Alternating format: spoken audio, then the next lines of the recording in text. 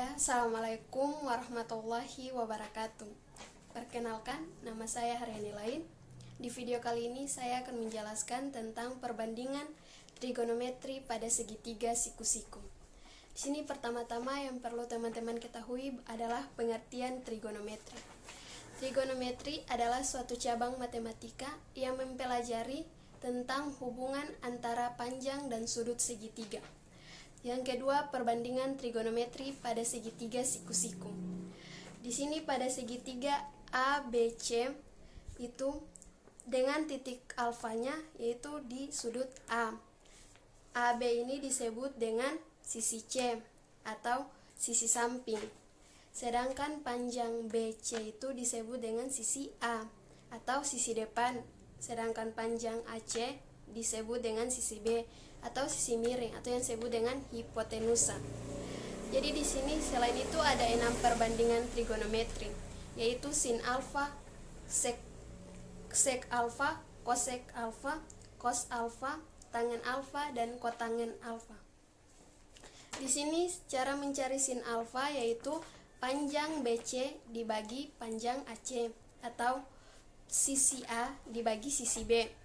Selanjutnya cos alfa sama dengan panjang AB dibagi panjang AC atau sisi C dibagi sisi B. Selanjutnya tangen alfa sama dengan panjang BC dibagi panjang AB atau sama dengan sisi A dibagi sisi C. Selanjutnya sek alfa. Sek alfa ini kebalikan dari cos alfa.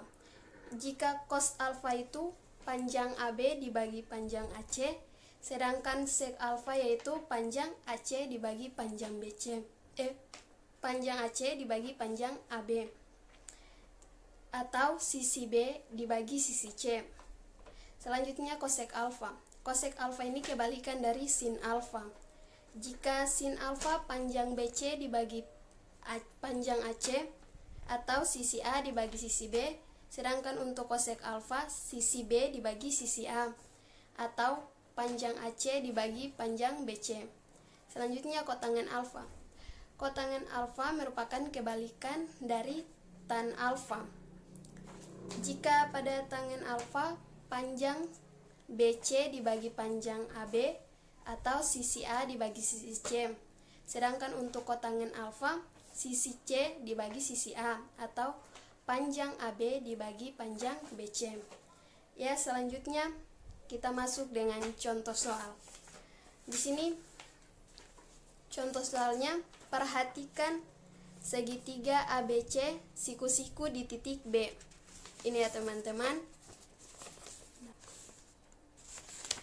Jika panjang AB sama dengan 12 cm, panjang BC 5 cm, dan panjang AC 13 cm.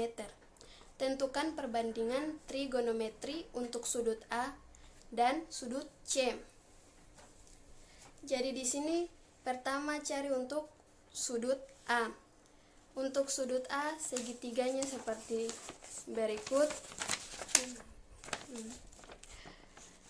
Sudut A panjang AC itu disebut dengan sisi miring sedangkan panjang BC sisi depan dan panjang AB itu sisi samping. Di sini sisi miringnya yaitu 13 cm, sedangkan sisi depan 5 cm, sisi samping 12 cm. Jadi di sini sin alfa sama dengan sisi depan dibagi sisi miring atau 15 dibagi 13. Sedangkan cos alfa sama dengan sisi sisi samping dibagi sisi miring yaitu 12 dibagi 13. Sedangkan tangan alfa yaitu sisi depan dibagi sisi samping yaitu 5 dibagi 15.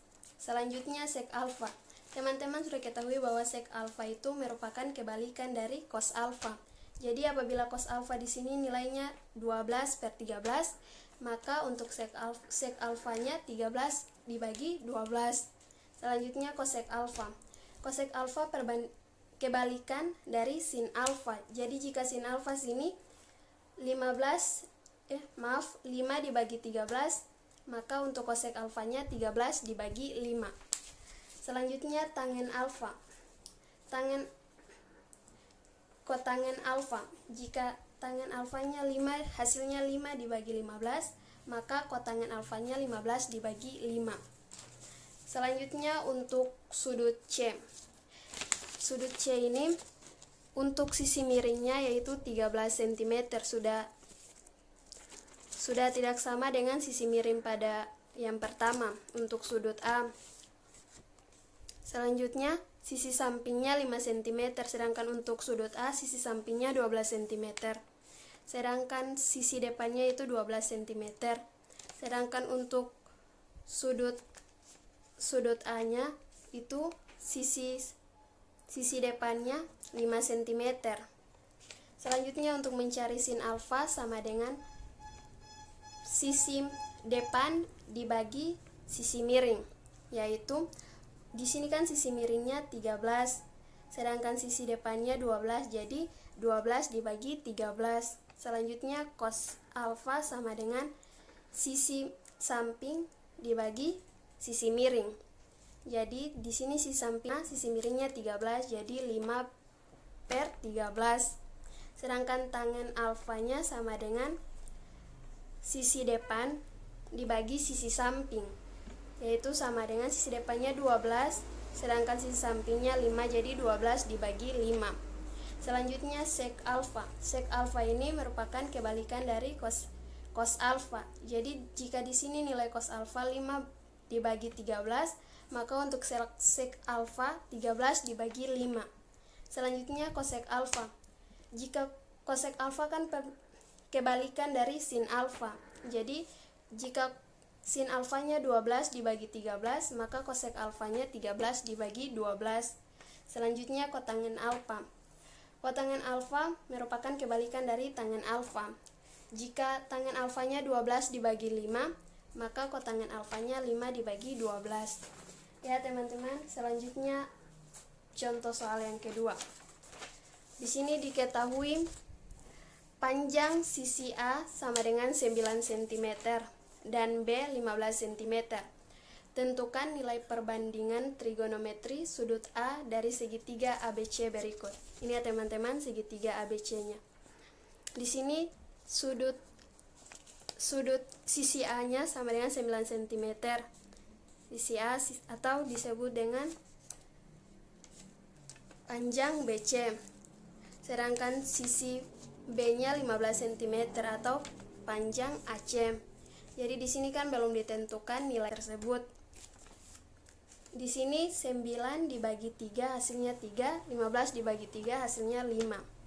Selanjutnya cos alfa. Cos alfa sama dengan panjang AB dibagi panjang AC sama dengan panjang AB ini panjang AB itu sama dengan C sisi C sedangkan panjang AC ini sama dengan sisi B jadi sisi C nya di sini 12 sedangkan sisi B nya 15 jadi 12 dibagi 15 12 dibagi 15 12 dibagi 3 4 15 dibagi 3 5 Selanjutnya tangan alfa.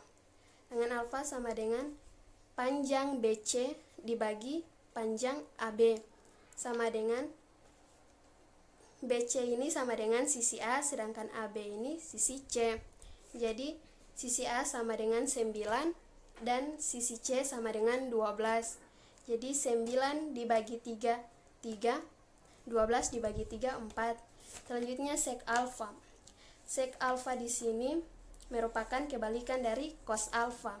Jadi di sini nilai cos alfanya 4 per 5. Jadi nilai sek alfanya sama dengan 5 per 4. Selanjutnya cosek alfa merupakan kebalikan dari sin alfa. Di sini nilai sin alfanya kan 3 per 5. Jadi nilai cosek alfanya sama dengan 5 per 3. Selanjutnya kotangan alfa. Kotangan alfa merupakan kebalikan dari tangen alfa. Jika tangan jadi nilai sek alfanya sama dengan 5 per 4. Selanjutnya kosek alfa merupakan kebalikan dari sin alfa. Di sini nilai sin alfanya kan 3 per 5. Jadi nilai kosek alfanya sama dengan 5 per 3. Selanjutnya kotangen alfa. Kotangen alfa merupakan kebalikan dari tangen alfa. Jika tangen alfa 3 per 4, maka untuk kotangen alfa 4 per 3. Ya, itu saja sedikit materi yang dapat saya jelaskan di video kali ini. Kurang dan lebihnya saya mohon maaf. Terima kasih. Wassalamualaikum warahmatullahi wabarakatuh.